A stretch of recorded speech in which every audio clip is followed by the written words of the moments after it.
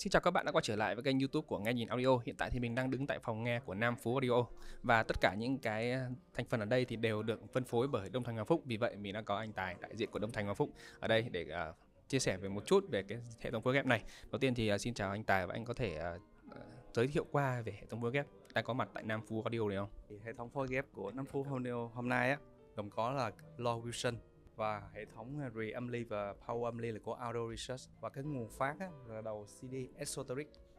Thì mình nói về cái lo trước. Thì lo Wilson này cái model đó là Alex V. Ừ. về Wilson thì các bạn biết rồi thì rất là nổi tiếng về, à, về những chiếc lo mà high end trên thế giới. Thì nó gồm nhiều module và nhiều màu sắc khác nhau mình có thể chọn lựa. Và cùng với đó là hệ thống reamly là của Audio Research cũng sản xuất tại Mỹ. Thì hãng này cũng rất là lâu đời chuyên về âm ly đàn. Ừ, rất là lâu đời. Và kế đến là cái nguồn phát. Nguồn phát thì là hệ thống là CD và Master Lock của Esoteric. Ừ. cùng với đó là, là hệ thống dây nguồn kết nối của Senjata ừ. anh có thể nói cho em một chút về cái khả năng trình diễn. Anh đánh giá chất âm của hệ thống ghép ngày hôm nay như thế nào? Ừ, về khả năng trình diễn về chất âm phối ghép giữa lo và âm ly và hệ thống này đó. Thì các bạn biết thôi thì Wilson thì trình diễn rất là ấn tượng. Và khi mà phối ghép cùng với Audio thì à, với cái công suất bóng đèn là 750W cho một vế, thì nó tạo cho mình cái à, ấn tượng là chất âm nó rất là ấm áp, chi tiết nhưng mà nó có độ động rất là rất là tốt. Như các bạn biết thì cái phần rì này thì nó cũng là gồm hai hai bộ phận, phần nguồn và phần à, tín hiệu riêng. Nó tạo cho mình độ độ xe số rất là thấp.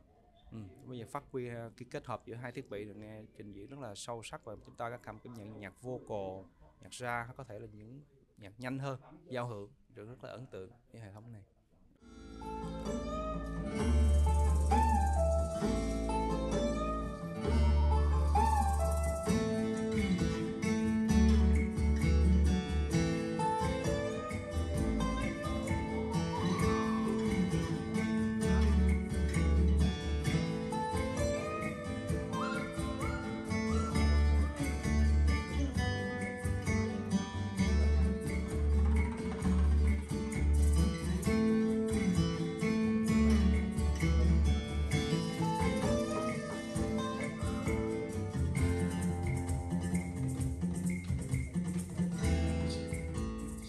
cuối cùng thì anh có thể chia sẻ một chút về tổng giá trị của những cái thiết bị ừ, trong hệ thống phối ghép này không?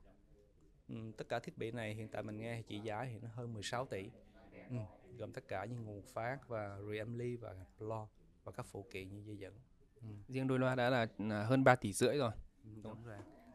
À, xin cảm ơn anh đã với những chia sẻ rất ngắn gọn của mình về hệ thống ghép tại Nam Phú Audio